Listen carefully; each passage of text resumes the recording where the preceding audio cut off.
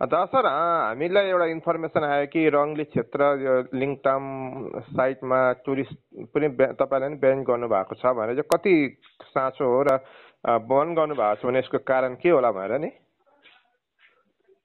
अब सरकारले त खै दस दस तारिकदेखि ओपन भनेर उनीहरूले तल हामीलाई तल क्यालकाटाबाट बुकिङ चाहिँ गर्दै थियो।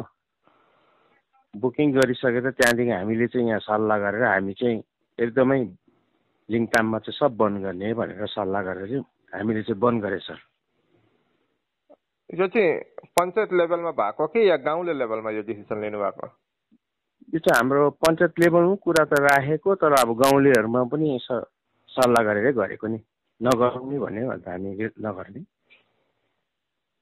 अच्छा सर यो अब लिङटाम फदमसे यो एरिया त अब तपाईँको कुपुप है जलुक जाने यो अब धेरै अब टुरिस्ट स्पटहरूसँग रिलेटेड जग्गा हो अब हामीलाई थाहा भयो अनुसार लिङटाममा त धेरै होमस्टेहरू पनि छ है र कस्तो खालको बुकिङहरू आउँदै थियो र टुरिस्टहरूले कहिलेसम्मको लागि बुकिङहरू गर्दै थियो र यो डिसिसन चाहिँ कहिले लिनुभएको हो यो अस्ति त्यो जब दस तारिकदेखि खुल्छ भनेदेखि चाहिँ कलकत्ता कलकत्ताबाट हाम्रो एजेन्टहरू छ उहाँले चाहिँ अब बुकिङ गर्दै थियो।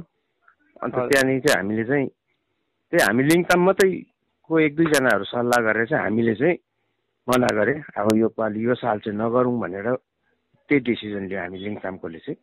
तपाईँको होमस्टे छ कि होटल छ? हाम्रो त होमस्टे हो होमस्टे है? हजुर सर।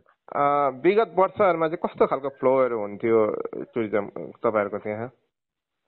पहिला त पुरा राम्रो हुन्थ्यो। अहिले यो बिमारले गर्दा चाहिँ अब बन्द भएकोदेखि चाहिँ अहिले कुनै उयो छैन सबै बनै छ। हजुर। र अझै यो वर्षभरि चाहिँ हामी सबैले बनै गरौँ भनेर सल्लाह लिए। भनेपछि अब प्राय जिपिओहरूले प्राय ठाउँले त तिस नोभेम्बरसम्म गर्दैछ। तपाईँहरूले चाहिँ कहिलेसम्मको लागि गर्नुभएको छ?